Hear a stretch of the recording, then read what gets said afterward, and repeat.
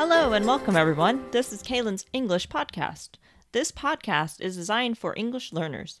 I'm here to help you practice your listening skills. I'm Kaylin, a professional English teacher on italki. How is everyone doing today? I hope everyone is great.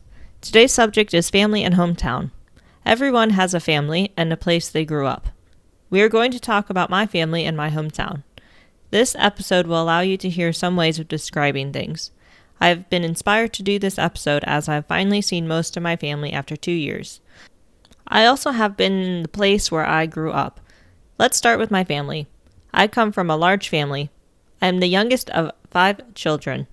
My parents are still alive and have two grandsons. I have three brothers and one sister. Most of my siblings are married. I have two sister in laws and a brother in law. I am close with my siblings as we get along well. We have similar personalities and interests despite the age differences.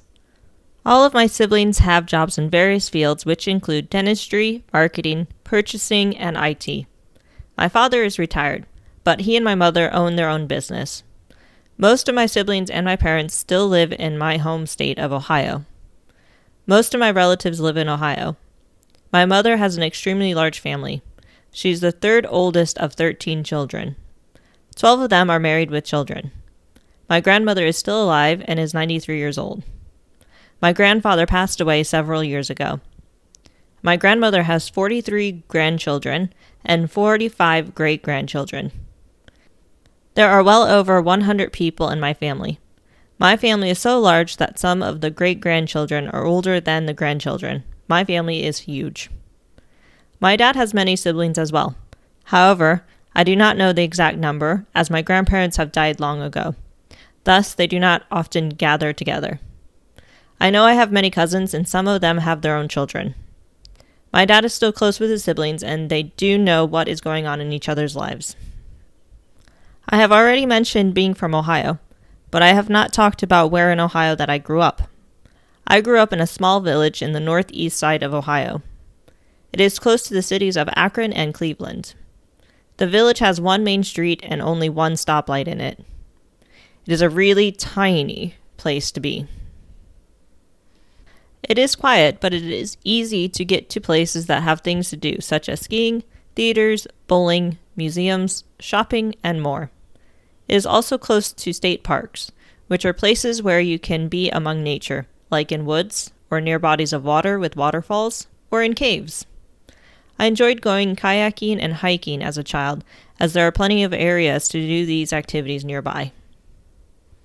I attended kindergarten, grade school, and high school in this village. I say grade school as I attended the same school for elementary and middle school. As this village is small, I had the same classmates for most of my education there. After high school, I went to university in a nearby city, but I still lived at home with my parents. While attending university, I met my husband. We have been together for over 13 years and married for almost nine. Shortly after graduating from university, my husband and I moved to England. We moved to a big city. I finally escaped the small town living environment. It was fun being in a new place and not being recognized by everyone living there.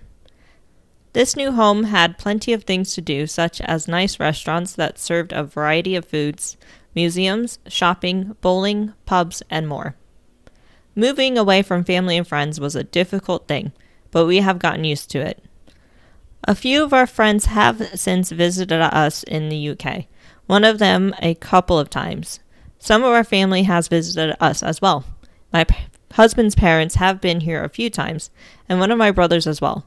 My sister and her family have been here once as well. We lived in our first city for nearly six years before moving to a small city. We still lived in England, but in a place that is much smaller. This city is about two hours from London and three hours from the city that we first moved to.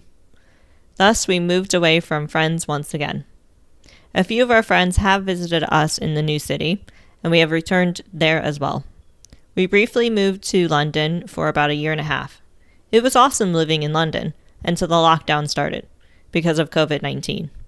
The pandemic shut down the entire country, and it made London feel like a small town, as not many people were on the streets walking, there was less traffic, and less people on public transportation. It was neat experiencing London in such an unusual situation. However, it did get boring at times, as there was nothing to do since things were forced to close. London is the largest place that I have ever lived, and I doubt I will ever live somewhere bigger. What about your hometown? Is it small, medium, or large in size? Does it have a big population? Do you still live there? Do you have a large or small family? I am going to now wrap up this podcast with repeating some words and phrases from this episode village, small town, small town feel, relatives, siblings, in laws, hometown, shut down, personalities, pandemic, unusual, public transportation, traffic, kayaking, hiking, state parks, caves, and boring. I hope you enjoyed listening about my family and my hometown. That is all I have for you today. I hope you enjoyed. If you'd like more content, then please subscribe to this podcast. You can also support me on Patreon. Find me by typing in Kaylin Teacher. On Patreon, you can gain early access to the podcast and transcriptions. Follow me on Twitter and Instagram at Kaylin underscore teacher. Thank you for listening. I hope you all have a great day. Until next time, bye.